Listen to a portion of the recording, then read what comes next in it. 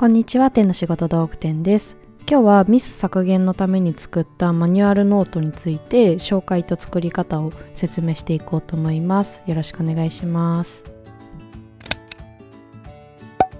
最初に何のためのノートかの説明をしてその後実際に私が使ってるノートを紹介して最後にノートの作り方紹介していきますでは早速マニュアルノートは何のためのノートかですがこちらはミスを削減するためのノートです。私は昔からケアレスミスとかちょっとしたミスみたいなのがすごい多くて仕事を始めると特に目立つようになってしまいました。でなんとかしないといけないなと思って作ったのがこの自分だけのマニュアルノートです。なんで自分だけのマニュアルノートが必要になったかというと他の人が作ったマニュアルとかすでに会社にあるマニュアルっていうのをこう読み解くのに時間がかかってしまっていて万人に分かるように情報がねギュッと多く入ってたりとかするので自分にとって必要な情報を探すのが大変でなかなか頭に入ってこないっていう点がありました。他にも追記編集ができないようになっていてあの自分でね気になるところハイライトしたりとか更新ができなかったりとか調べる読む作業するみたいなのを全部パソコンの中でやろうとすると頭の中が混乱してしまったりっていうのがあってそんな中でねやると作業にミスが出てそれがこう次のミスを呼んじゃってどんどん混乱していく状態になっていました。なのでミスを削減するために自分にとって必要な情報だけを集めた自分だけのマニュアルノートを作ることにしました。仕事のミスが減ればいいなと思って作ったんですけど思わぬ副産物としては学んだことをね頭の中で整理してノートにアウトプットしていくので仕事の覚えがね少し早くなったような気がします。では実際に私が使っているノートを次に紹介していきます。こちらが社会人8年目の時に使っていた実際のノートです。ノートのメーカーさんはね、フレックスノートというところです。右側の小さい用紙はマニュアルよりは頻度低いんだけど見返す可能性があることをメモして入れています。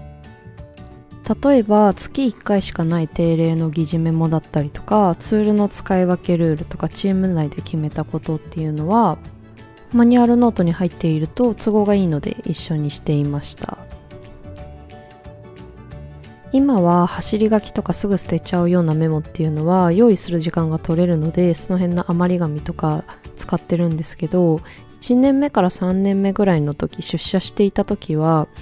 いつメモチャンスが来るかわからないのでマニュアルノートの後ろのページをメモ用紙として使っていました。すごい走り書きですね。そしてメインのマニュアルノートはこちらになります。1年目とか2年目の最初の方はツールの操作方法とかルーチンワークを一つ一つマニュアル化していたんですが最近は季節ごとの大型施策とかプロジェクトなどを進める時に進め方もマニュアル化しています。セールとかのスケジュール感とかあの工業もらったよねみたいなやつが結構次回に生きる知見が多くて役に立っています。新卒時代は手のひらサイズだったんですけど今は作業自体も昔に比べたら手順が増えたりしてて英語サイズでも結構ギリギリいっぱいになってくることが多いです。ちなみに色ペン部分を追記したところ何色を使うかとかは特に決めていなくて書いたタイミングで色が違います。近くにあった色ペンで適当に書き込んじゃってます。作り方の部分でも説明するんですが後からかなり追記をしたりとか書き加えたりすることが多いので余白は最初は多めに取ってあります。これとかもね右半分すっからかんに空いてますが、まあ、1年も経つと結構ぎゅうぎゅうになってたりします。はいこんな感じで私のマニュアルノートを紹介しました。次作り方紹介していきます。マニュアルノートの作り方は4ステップあります。こんな感じです。で、これのステップ1、この先もう一回やる可能性がある仕事はメモを取るに関しては過去動画で紹介してます。同じく23も過去動画で紹介しているんですが結構やり方が最近また変わったりとかしたので今回は234の最新版を紹介していこうと思いますでは早速用意するもの何でもいいのでノートを1冊用意してください。できれば方眼がおすすめです。方眼だと図や線を定規なしでもね綺麗に引くことができるので書き込む時の手間が一つ減って楽になりますよ。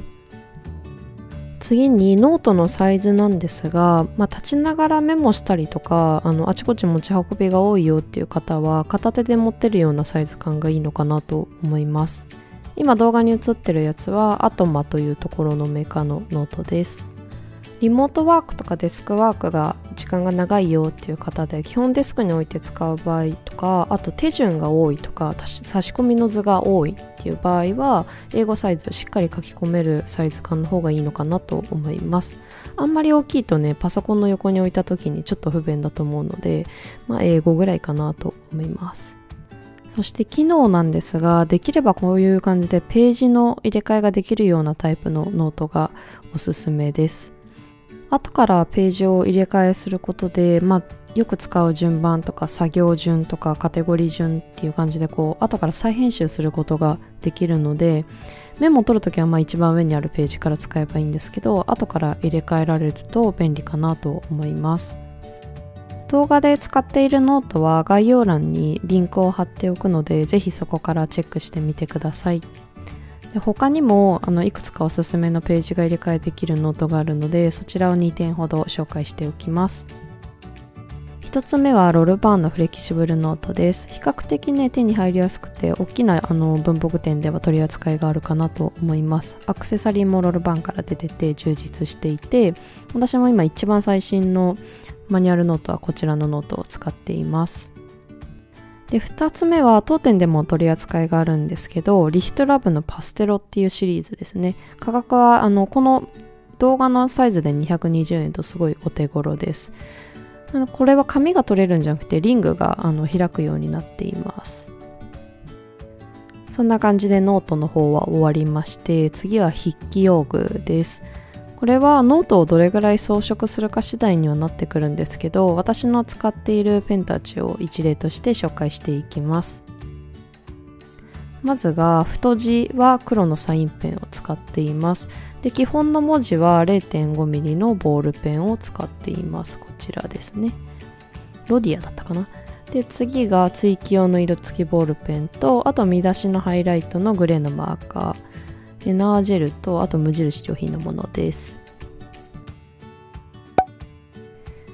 では実際の作り方も紹介していきます。まず作り方も3ステップぐらいに分かれていて事前準備と実際に作ると運用するっていう3つがあるんですけどまず最初にこちらの事前準備記入する項目と装飾を決めてルール化するというところをやっていきます。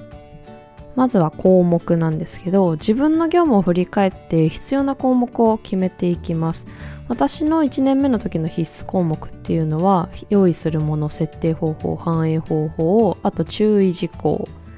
そして裏側のページ行きまして解除方法の項目をタスクによって使い分けていました。自分の業務に合わせてどんな項目が必要か整理してみる必要があるので一旦書き出してカテゴライズしてみると項目出てくるかなと思います次は装飾です。えっと、フォーマットを統一することで読み解く労力が最低限になるので、事前にルールを決めておくのがおすすめです。私は以下のルールで記入していて、タイトルは太字プラスハイライト、カテゴリー別にハイライトの色分けしてます。で見出しがグレーのペンでハイライトをするのと後から追記した場合は全てカラーペンで入れるようにしています。あまりガチガチに決めちゃうとルールを守るのが大変になって清書するのがね億劫になると思うので最低限でいいんじゃないかなと思ってます。で実際に作るステップに関しては冒頭で紹介した動画に詳しく載っているのでぜひそちらをチェックしてください。なので次は運用するミスったところ注意点などを追記というところをやっていきます。マニュアルを作る時に一番重要なのが余白です。結構ポコポコ開けてあります。自分に合わせて追記とか編集をしていくので必ず余白を残しておいてください。メモがね足りず後から聞いたこととか知ったこととかあとイレギュラーが起きた時の補足を書いたりとかあとはやり方が変わった場合に二重車線で過去のものを消して色ペンで追記したりしていきます。他にも読み飛ばしちゃってミスっちゃったみたいなものに関しては目立つ色でしっかりとハイライトします。マニュアルノート自体はこれで完成です。あとは作業する時にすぐ見えるように置いておけば問題ないかなと思います。こんな感じであのマニュアルはアナログにしといて作業はパソコンでやるみたいな感じで切り分けるとなんかどこまでやったんだっけ見たんだっけみたいなのを画面の切り替えでね見失って迷子になって次のミスが出てきてしまったりみたいなのも減ったのでよかったらぜひあの手書きのマニュアルもやってみてください。パソコンで作って印刷して手元に置いておくっていうのもいいんじゃないかなと思います。追記だけね手でやればいいのかなと思うのでぜひいろいろ自分に合った方法で試してみてください。最後までご覧いただきありがとうございます。連日たくさんの方が文房具屋でお買い物してくださったおかげで、ちょっと在庫が品薄になってきたんですが、再入荷の情報は当店の公式 LINE からあの発信しますので、ぜひお友達になってお待ちください。またね